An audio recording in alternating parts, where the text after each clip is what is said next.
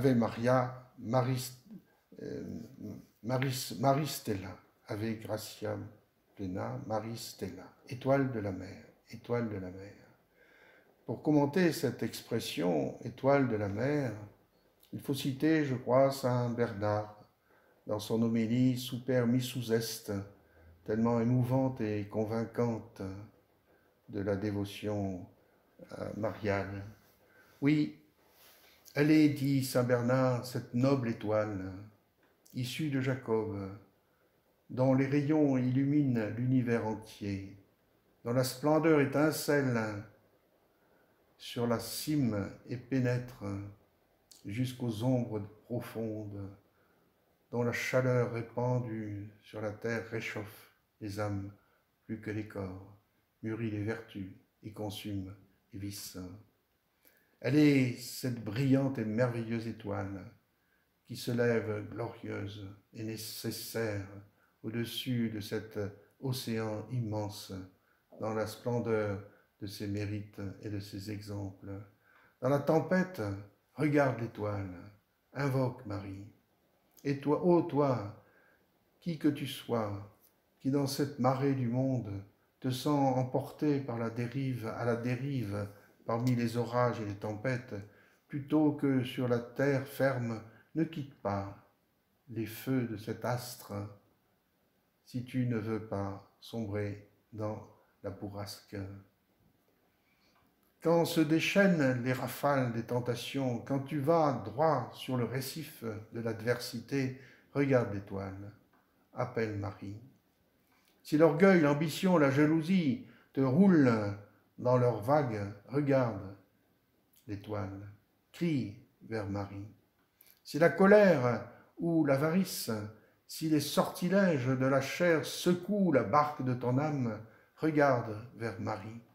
Quand, tourmenté par l'énormité de tes fautes, honteuse des souillures, honteux des souillures de ta conscience, terrorisé par la menace du jugement, tu te laisses happer par le gouffre de la tristesse, par l'abîme du désespoir, pense à Marie.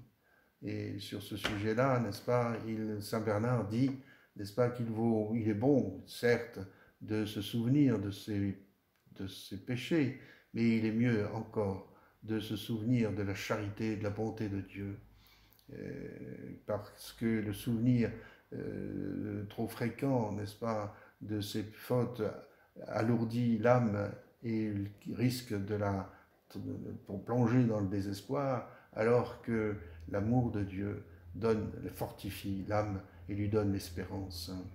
Dans les dangers, dans les angoisses, dans les situations critiques, pense à Marie, crie vers Marie, que son nom ne quitte pas tes lèvres, qu'il ne guide pas, qu'il ne quitte pas ton cœur, et pour obtenir la faveur de ses prières, ne cesse d'imiter sa vie.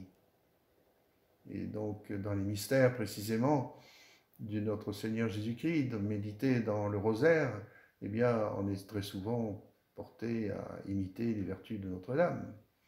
Dans le mystère de la Nativité, on voit son fiat, que votre volonté soit faite.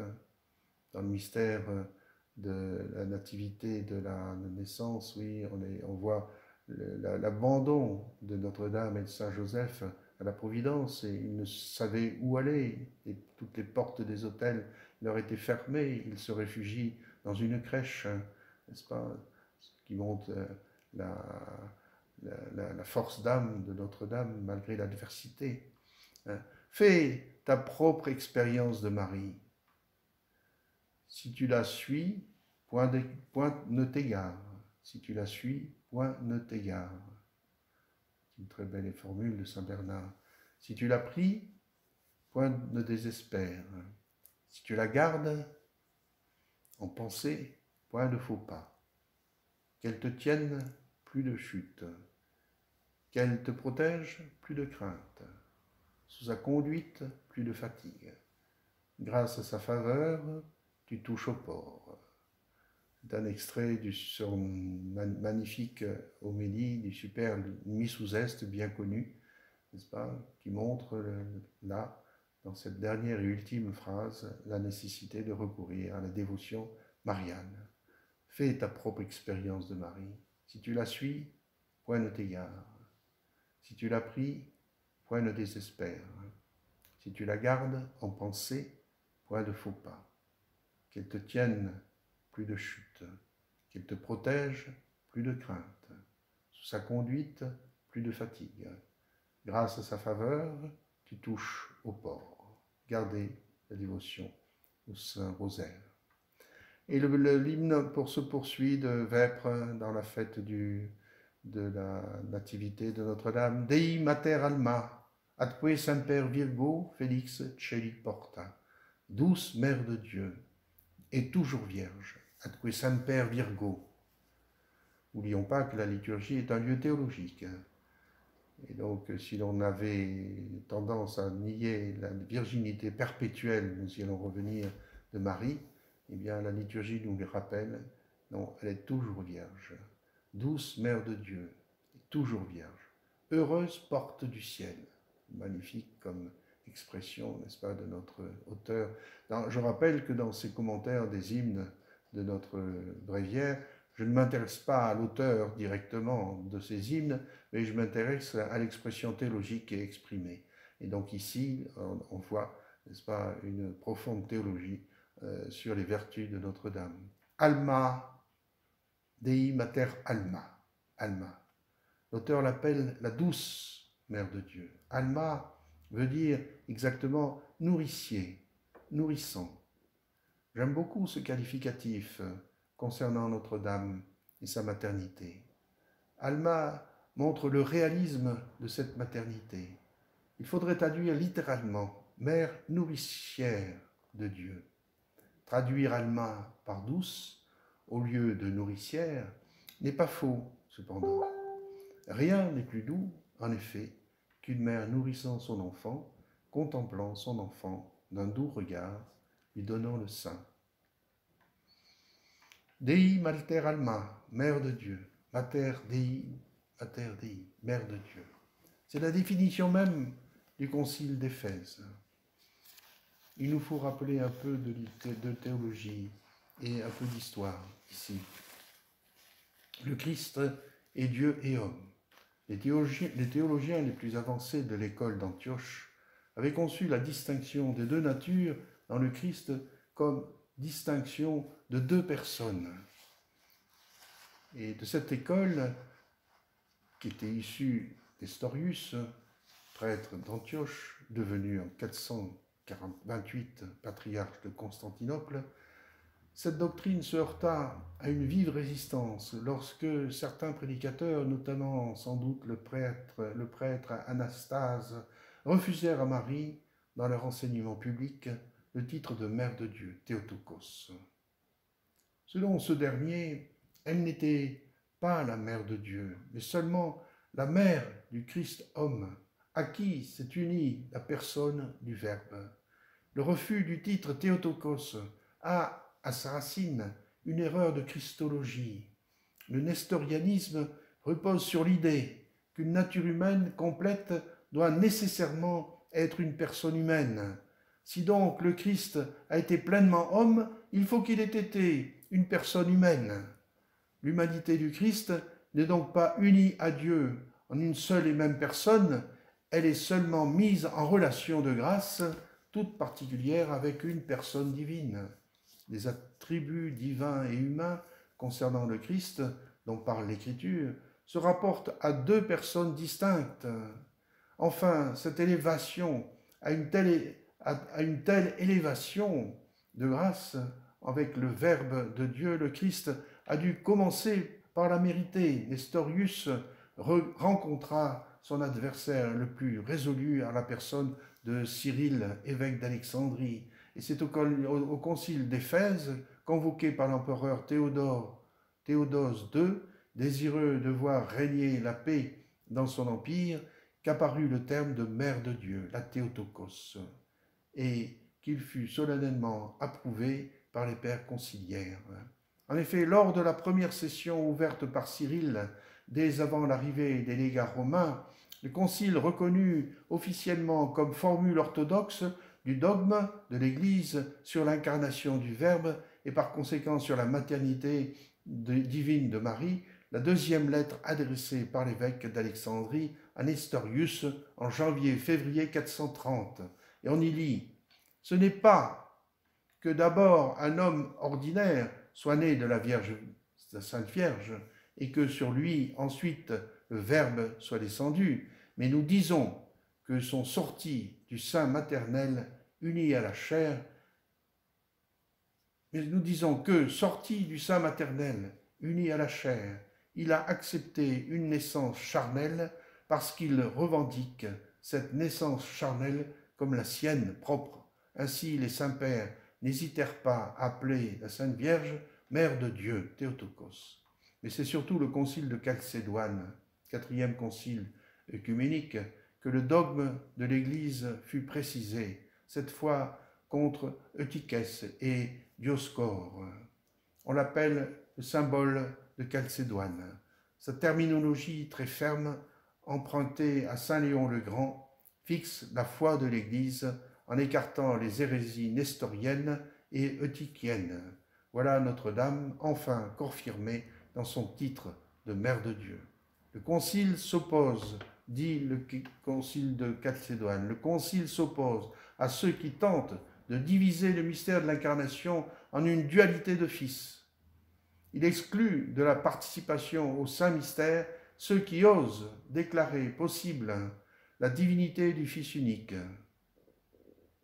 Non, ceux qui osent, excusez-moi, qui osent déclarer passible la divinité du Fils unique. Il contredit ceux qui imaginent un mélange ou une confusion des deux natures dans le Christ. Il rejette le Concile ceux qui déraisonnent en disant que la forme d'esclave prise chez nous par le Fils est de nature céleste ou d'une essence étrangère à la nôtre. Il anathématise ceux qui ont inventé cette fable de deux natures dans le Christ avant l'union d'une seule après avant l'union et d'une seule après l'union. À la suite des saints pères, nous enseignons donc tous unanimement à confesser un seul et même Fils, notre Seigneur Jésus-Christ, le même parfait en divinité, parfait en humanité, le même vraiment Dieu et vraiment homme, composé d'une âme raisonnable et d'un corps, consubstantiel au Père selon la divinité, consubstantiel à nous selon l'humanité, en tout semblable à nous sauf le péché. Avant les siècles engendré du Père, selon la divinité, est né en ces derniers jours, né pour nous et pour notre salut, de Marie, la Vierge, Mère de Dieu, selon l'humanité. Un seul et même Christ Seigneur Fils unique, que nous devons reconnaître en deux natures, sans confusion ni changement, sans division, sans séparation, la différence des natures n'est nullement supprimée par leur union, mais plutôt les propriétés de chacune sont sauvegardées et réunies en une seule personne et une seule hypostase. Il n'est ni partagé, ni divisé en deux personnes, mais il est un seul et même Fils unique, Dieu, Verbe, Seigneur, Jésus-Christ, comme autrefois les prophètes nous l'ont enseigné de lui, comme lui-même, Jésus-Christ, nous l'a enseigné comme le symbole des pères nous l'ont fait connaître. Ces points ayant été déterminés avec une précision et un soin des plus extrêmes, le Saint Concile œcuménique a défini qu'une autre foi ne pouvait être proposée, écrite ou composée, pensée ou enseignée aux autres par qui que ce soit. Voilà qui est clair. Marie est vraiment définie par l'Église comme étant la mère de Dieu. C'est la foi catholique de fide divina definita. Toujours vierge, nous dit l'hymne Semper Virgo, cette virginité perpétuelle de Marie a été confessée par l'Église à travers tous les siècles et dans tous les documents les plus solennels. Il faut bien être en un siècle de modernisme pour oser le nier, la nier, cette virginité. Nous citerons seulement la lettre de Léon le Grand à Flavien de Constantinople. Ce Fils éternel du Père éternel est né par le Saint-Esprit de la Vierge Marie. Il a été conçu par le Saint-Esprit dans le sein de la Vierge Marie, qui enfanta sans perdre sa virginité, comme sans perdre sa virginité, elle l'avait conçu. Le Fils de Dieu entre donc dans ce monde de faiblesse, descendant de son trône céleste, sans quitter la gloire de son Père, venu au monde selon un nouvel ordre, selon une nouvelle naissance. Une nouvelle naissance, car une virginité inviolée n'a pas connu la concupiscence, lui a fourni son corps de chair. On ne peut parler plus clairement de quoi de la virginité de Marie, Mère de Dieu. Et l'on pourrait citer mille textes du magistère qui affirment cette même foi. Les pères de l'Église sont eux aussi fidèles à cet enseignement. Voyez Saint Bernard, dans son beau texte sur cet évangile, cette, euh, cette prédication sous permis sous est, cité plus haut. Il affirme à propos de l'allusion à l'astre de la mer. Oui, on la compare à un astre, et rien n'est plus juste. Comme l'astre, sans être altéré, émet son rayon, ainsi, sans lésion intime, la Vierge met au monde son Fils. Le rayon n'amoindrit pas la clarté de l'astre, pas plus que le Fils ne diminue l'intégrité de la Vierge. Enfin, l'auteur de cet hymne poursuit la strophe en saluant Marie comme l'heureuse porte du ciel l'heureuse porte du ciel. Elle est l'heureuse porte du ciel, Félix Celli Porta. Pourquoi? Parce qu'elle a donné l'auteur du salut, le Sauveur, son Fils Jésus, qui par son sacrifice propitiatoire de la croix nous a réconciliés avec Dieu et a jamais effacé le péché qui était l'obstacle pour entrer au ciel. Vraiment, ce titre, Heureuse porte du ciel, Félix Porta est véridique. La deuxième strophe, en recourant, en, recevant cet ave, ce salut de l'ange Gabriel, de la bouche de Gabriel, hein, avec Gracia plena, Dominus tecum, établissez-nous dans la paix, changeant le nom d'Ève. En effet, cette Ève qui nous donna la mort par sa désobéissance, comme le dit saint Paul, stipendia peccati mors, le salaire du péché, c'est la mort. C'est le consentement de Marie la parole de l'ange, en sa salutation, en son fiat, qu'il me soit fait selon votre volonté, qui nous donna la vie. Ave, le premier mot de l'annonciation du salut, et l'inversion de Eva, Ève, nom de celle qui nous a perdus, qui est à la fois figure de Marie comme étant l'épouse d'Adam, la mère des vivants, ce qui est Marie comme étant la mère du Fils de notre Seigneur, de Dieu, son opposé par sa désobéissance. Plus de crainte, funda nos in pace, établissez-nous dans la paix, funda nos in pace, mais une paix certaine en Jésus-Christ, fruit du sein de Marie. Si Ève fut pour le genre humain principe de mort par sa désobéissance, Marie, elle, est le principe de vie par son obéissance, elle changeant ainsi totalement le rôle d'Ève, changeant le nom d'Ève, mutans, Eve nomen. Briser les liens, c'est la troisième strophe. Briser les liens du coupable, donner la lumière aux aveugles, chasser nos maux, obtenez tous les biens. Nous avons ici, dans cette strophe, une succession de demandes ardentes et empressées. Briser, donner, chasser, obtenez, fondées sur la toute-puissance de la Mère de Dieu. Que peut lui refuser du reste son Fils? Faisons passer nos demandes, comme nous le demande Léon XIII dans le texte que nous avons lu. Faisons passer nos demandes par sa médiation. C'est ce que nous enseigne l'auteur de cet hymne, mais c'est ce que nous enseignent tous les actes du magistère. Nous avons une succession d'impératifs brisés, donnés, salvés, euh, pellés, pochés, n'est-ce pas? C'est ce que nous enseigne, oui, vous dis Nous avons donc une succession d'impératifs. Ce sont comme des ordres que nous donnons à la Vierge Marie, mais elle est notre mère. Et Saint Quignon de Montfort confirmera un jour ce jugement dans son petit ouvrage de la vraie dévotion, un vrai trésor que je recommande vivement. Brisez les liens des coupables, donnez la lumière aux aveugles, chassez nos maux, obtenez tous les biens, c'est-à-dire rendez-nous notre liberté perdue, ouvrez les yeux aux aveugles que nous sommes. On retrouve les accents de Léon XIII dans son encyclique que nous venons de lire. On peut donner de tels ordres à celle qui est notre mère. Montra, te matrem. Montrez-vous notre mère. Je préférerais, traduire plus fidèlement le texte latin. Montrez que vous êtes mère. Montrez que vous êtes mère. Je trouve que c'est plus joli et c'est plus vrai. Je trouve que c'est plus fort. Faites passer alors à notre Fils nos prières. Soyez notre intermédiaire, notre avocate.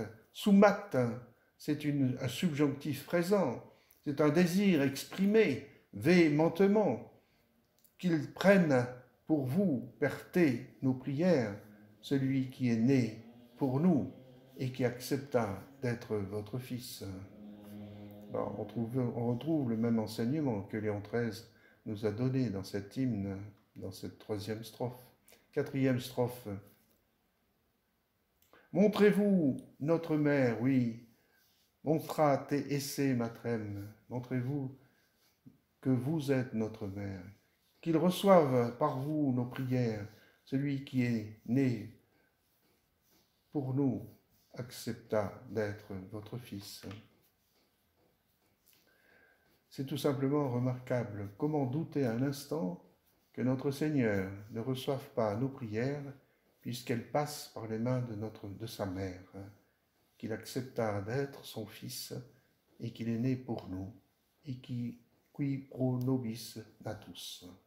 Reniera-t-il soudain ce qu'il a fait, ce qu'il a fait, une si grande, pour qui il a fait un si grand déplacement de ciel en terre?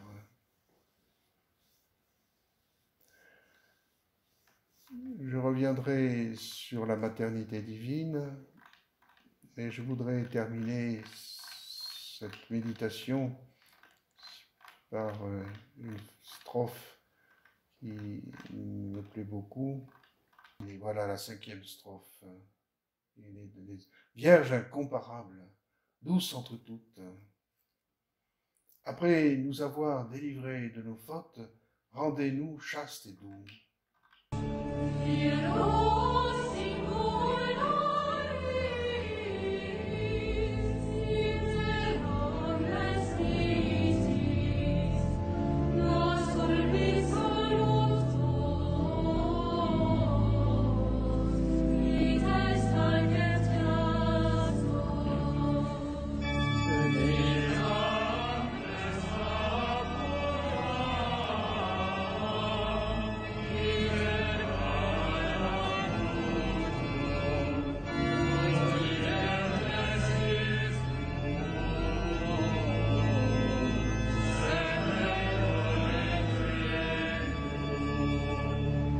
C'est la sixième strophe.